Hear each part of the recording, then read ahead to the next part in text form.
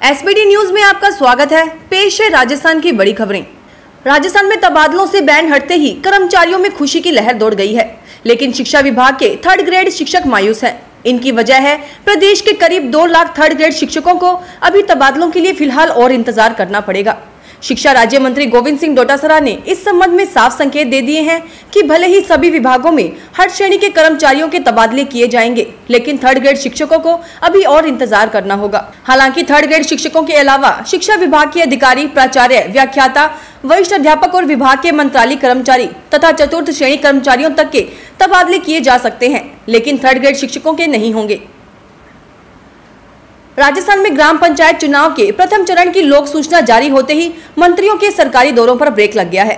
गहलोत सरकार के मंत्री अब निर्वाचन क्षेत्रों में सरकारी दौरे नहीं कर सकेंगे। संबंधित क्षेत्र में दौरे पर जाने पर डाक बंगलों आदि का कार्यालय के रूप में उपयोग करने पर मनाही रहेगी। राज्य के सामान्य प्रशासन विभाग ने 16 सितंबर को इसकी आधिकारिक आदेश जारी कर दिए हैं। सामान्य प्रशासन विभाग की ओर से जारी आदेश के अनुसार मंत्रीगण चुनाव क्षेत्रों में चुनाव समाप्त तक शासकीय दौरे नहीं कर सकेंगे। केवल कानून व्यवस्था की स्थिति बिगड़ने या किसी आपात स्थिति के कारण मंत्री की उपस्थिति आवश्यक है तो प्रतिबंध लागू नहीं होंगे। बीकानेर ज़िले में पंचायत चुनाव में इस बार 116 महिलाएँ सरपंच की कुर्सी को संभालेंगी। चार चरणों में ज़िले की 238 ग्राम पंचायतों में सरपंच व वार्ड पंचों के लिए मतदान होना है।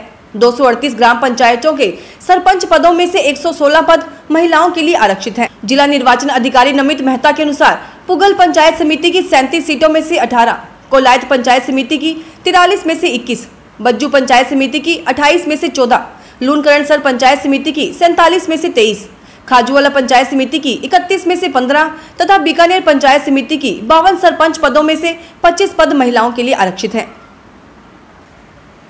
बिजली की दरें इतनी ज़्यादा हो गई हैं कि आम आदमी अपने खर्चों में कटौती के बाद भी बिल के लिए राशि का इंतज़ाम नहीं कर पा रहा है कोरोना के इस दौर में जब हर तरफ़ आर्थिक मंदी छाई हुई है, बिजली का बिल भर पाना आम आदमी के लिए सबसे बड़ी परेशानी बन गया है। सबसे खास बात यह है कि बिजली की यूनिट की कीमत बढ़ने से जो बिजली बिल दो महीने में आता था, अब वह एक महीने में आ रहा है। राजस्थान कांग्रेस मुख्यालय में पाँच महीने चले जन सुनवाई कार्यक्रम के बाद, अब इस जन सुनवाई के फिर से शुरू होने के कोई आसार नहीं है। बदली हुई व्यवस्था में अब प्रभारी मंत्री अपने ही जिलों में जन सुनवाई कार्यक्रम करेंगे। पीसीसी में पाँच महीने में आई, करीब दस हज़ार शिकायतों का क्या हुआ, इसका जवाब भी किसी के पास नहीं है। प्रदेश कांग्रेस के नए प्रभारी अजय माकन ने भी मंत्रियों को इसके निर्देश दिए हैं। कॉमन एडमिशन टेस्ट 2020 के लिए आवेदन करने की अंतिम तिथि अब 23 सितंबर तक बढ़ा दी गई है। पात्र और इच्छुक उम्मीदवार जो अभी तक कैट 2020 के लिए पंजीकृत नहीं है, वे आधिकारिक वेबसाइट पर परीक्षा के लिए खुद को पंजीकृत कर सकते हैं। पंजीकरण विंडो शाम पाँच बजे तक खुली रहेगी।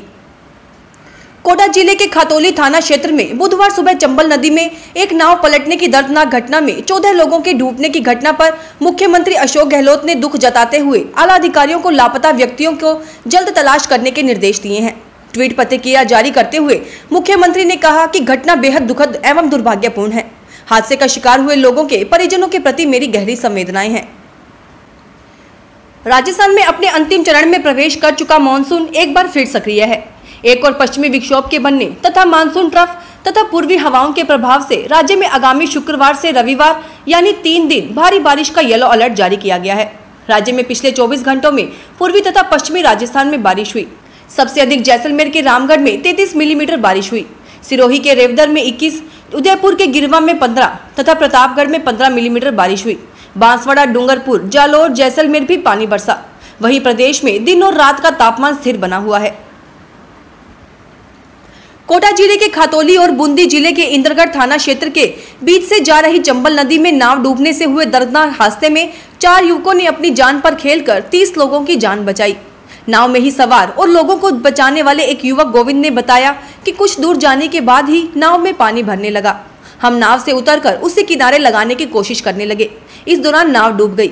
सबसे पहले रेस्क्यू चलाने वाले युवकों में से बंटी नाम के एक युवक ने बताया कि एक साथ दो तीन लोगों को डूबने से बचाया। चार युवक ने मिलकर कुल मिलाकर 25 से 30 लोगों की जान बचाई। राजस्थान पंचायती राज चुनाव में पंच सरपंच के चुनाव में प्रत्याशी पचास हज़ार से ज़्यादा खर्च नहीं कर सकेंगे। पंच सरपंच के चुनाव में अधिकतम पचास हज़ार रूपए खर्च सीमा निर्धारित की गई है। अधिकतम सूचना खर्च की सीमा से अधिक खर्च करना आदेशों का उल्लंघन होगा, जिस पर कार्यवाही की जाएगी।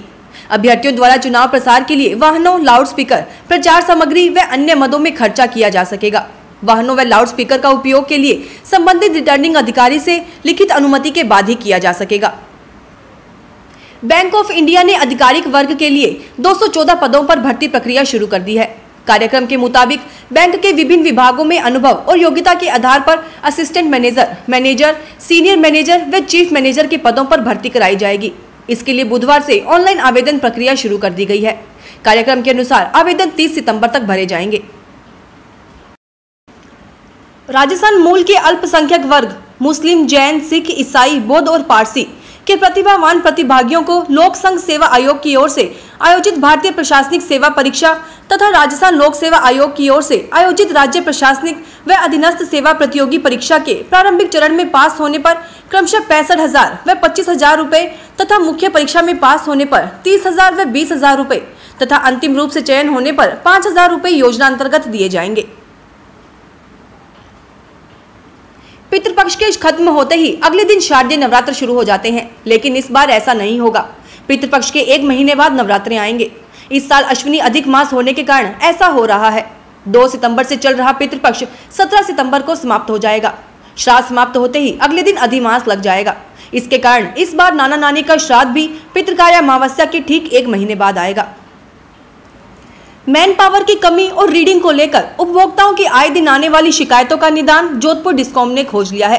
अब घरों और फैक्ट्रियों में रीडिंग के लिए मीटर रीडर नहीं आएँगे।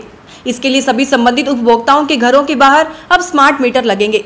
यह meter energy efficient services limited company से 12 करोड़ 24 लाख रुपए की लागत से मंगवाए जा रहे हैं।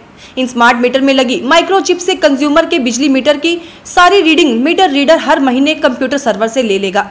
इस सर्वर में सारा डाटा रहेगा। प्रधानमंत्री नरेंद्र मोदी का 17 सितंबर को सत्रवा जन्म दिवस है। इस अवसर पर भाजपा देश भर में सेवा सप्ताह चला रही है। पूरे सप्ताह के दौरान सेवा और सामाजिक सरोकारों से जुड़े कार्य हो रहे हैं। सेवा सप्ताह को सादगी से मनाने के लिए वृक्षारोपण, रक्तदान, स्वच्छता व प्लास्टिक मुक्त अभियान जैसे कार्यक्रम भी किए जा रहे हैं। राजस्थान भाजपा की ओर से जारी सेवा सप्ताह के तहत आज हर ज़िले में 70 दिव्यांगों को कृत्रिम अंग उपकरण और आर्थिक रूप से कमज़ोर 70 लोगों को चश्मा वितरित किए गए। आज के कार्यक्रम के संचालन की ज़िम्मेदारी भाजपा अनुसूचित जाति मोर्चा एवं अनुसूचित जनजाति मोर्चा की रही। फ़िलहाल इस बुलेटिन में इतना ही। फिर हाजिर होंगे और बड़ी खबरों के साथ। एसबीटी न्यूज़ के वीडियो देखने के लिए हमारे चैनल को सब्सक्राइब करें और नोटिफिकेशन पाने के लिए बेलाइकन पर क्लिक करें। धन्यवाद।